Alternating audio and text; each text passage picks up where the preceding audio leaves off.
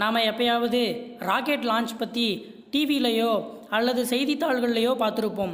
பல கோடி ரூபாய் செலவு பிடிக்கிற இந்த மாதிரியான விண்வெளி ஆய்வுகள் எல்லாம் நம்மளை மாதிரி சாதாரண மக்களுக்கு எந்த வகையில் உதவுதுங்கிறத பற்றியும் ஒரு செயற்கைக்கோள் எப்படி உருவாக்கப்பட்டு அது விண்வெளியில் எப்படி ஏவப்படுதுங்கிற வரைக்கும் இந்த வீடியோலையும் தொடர்ச்சியாக வரக்கூடிய வீடியோஸ்கள்லையும் டீட்டெயிலாக பார்க்கலாம்.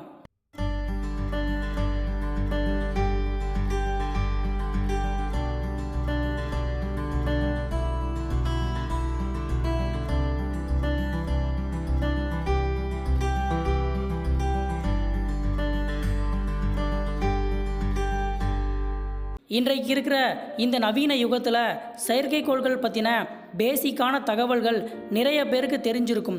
அப்படி தெரியாதவங்களுக்காக ஒரு சின்ன விளக்கம் தான் இது. நம்ம சூரியனை மையமாக வச்சு எட்டு பிளானட் சுற்றி வருது இல்லையா? இதை கிரகங்கள் அல்லது கோள்கள்னு சொல்கிறோம் இதில் முதல் இரண்டு கிரகங்களான புதன் வெள்ளி தவிர மற்ற எல்லா கோள்களுக்குமே துணை கிரகங்கள் இருக்கும்.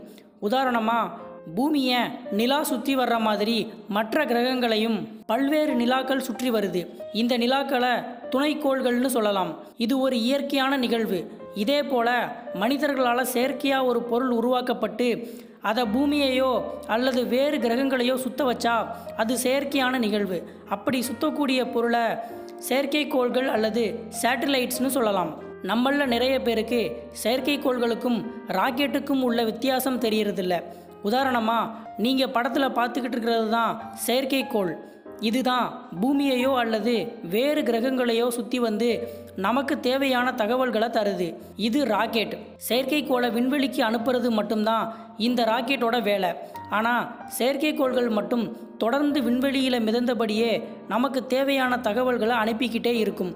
பல கோடி ரூபாய் செலவு பிடிக்கிற இந்த விண்வெளி திட்டங்கள்னால நமக்கு என்ன பயன் இருக்குன்னு தெரிஞ்சுக்கணும்னா முதல்ல செயற்கைக்கோள்களில் என்னென்ன வகைகள் இருக்குது அவை ஒவ்வொன்றில் இருந்தும் நமக்கு எந்த மாதிரியான தகவல்கள் கிடைக்கிதுன்னு தெரிஞ்சுக்கணும். செயற்கைக்கோள்களில் பல வகைகள் இருக்குது உதாரணமாக இது தகவல் தொடர்பு செயற்கைக்கோள். நாம் அன்றாடம் பயன்படுத்துகிற தொலைக்காட்சி மொபைல் ஃபோன் இணைய சேவை போன்ற அனைத்து வகை தகவல் தொடர்பு சாதனங்களுக்கும் தேவையான சிக்னல்களும் இந்த டெலிகம்யூனிகேஷன் சேட்டலைட் மூலமாக தான் கிடைக்குது.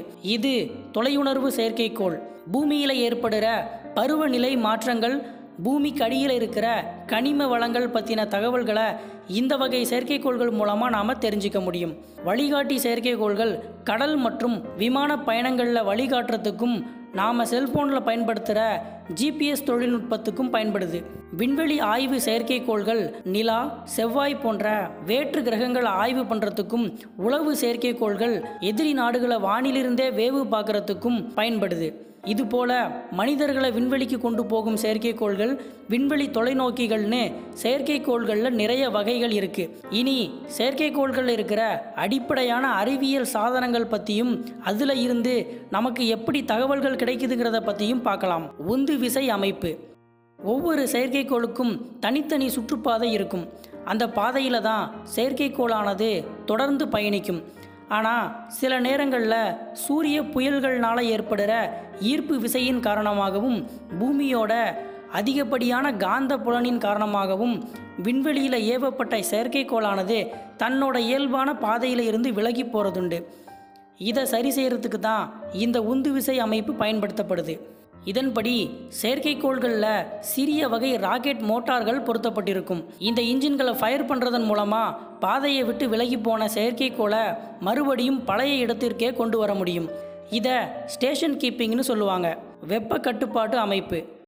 நாம் அன்றாடம் பயன்படுத்துகிற எல்லா மிஷின்களுமே ஹீட் ஆகக்கூடியது தான் உதாரணமாக மொபைல் லேப்டாப் டிவி ஃபேன்னு எல்லாமே ஒரு கட்டத்துக்கு மேலே யூஸ் பண்ணும்போது கண்டிப்பாக ஹீட் ஆகும். செயற்கைக்கோள்களும் இதுக்கு விதிவிலக்கில்லை. செயற்கைக்கோள்கள் இயங்கிக் கொண்டிருக்கும் போது அதில் இருக்கிற கண்ட்ரோல் சிஸ்டமை ஹீட் ஆகாமல் பார்த்துக்கிறது தான் இந்த வெப்ப கட்டுப்பாட்டு அமைப்போட வேலை. ஒரு செயற்கைக்கோளில் இந்த அமைப்பு இரண்டு விதமாக இயங்குது. ஒன்று செயலற்ற வெப்ப கட்டுப்பாட்டு அமைப்பு. செயற்கைக்கோள்கள் இருக்கிற கருவிகளை சுற்றி இரண்டு அல்லது மூன்று விதமான லேயர்களில் வெப்பத்தை வெளியேற்றக்கூடிய மெட்டீரியல் பயன்படுத்தப்படும். இது செயற்கைக்கோளை எளிதில் வெப்பமடையாமல் தடுக்குது. ரெண்டாவது செயல் வெப்ப கட்டுப்பாடு அமைப்பு. இது செயற்கைக்கோளில் ஏற்படுற வெப்பத்தை சின்ன குழாய்களில் இருக்கிற பம்புகள் மூலமாக வெளியேற்றுது தகவல் தொடர்பு அமைப்பு.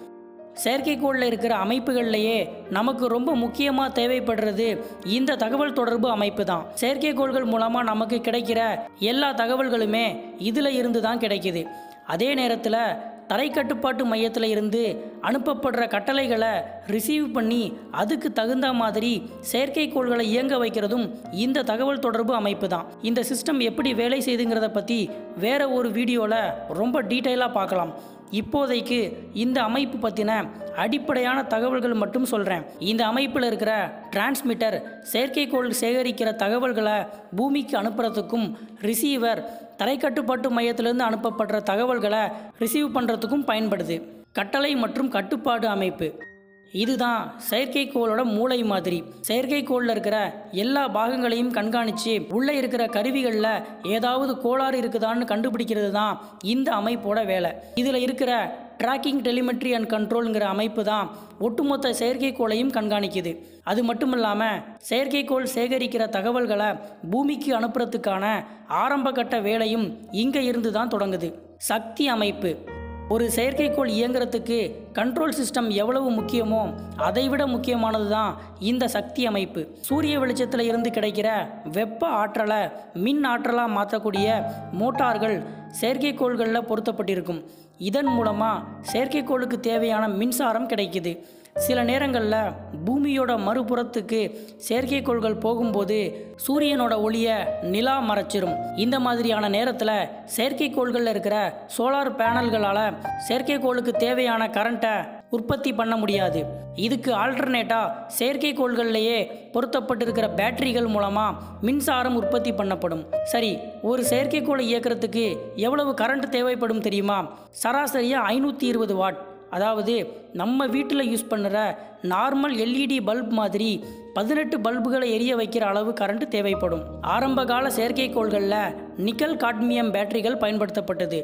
சமீப காலத்து செயற்கைக்கோள்களில் புளுட்டோனியம் அல்லது நிக்கல் ஹைட்ரஜன் பேட்டரிகள் பயன்படுத்தப்படுது. செயற்கைக்கோள்கள் பற்றின அடிப்படையான தகவல்களை இந்த வீடியோவில் பார்த்தோம். அடுத்த வீடியோவில் செயற்கைக்கோள்களை விண்வெளிக்கு ஏவ பயன்படுத்தப்படுற ராக்கெட்கள் பற்றின தகவல்களை பார்க்கலாம்.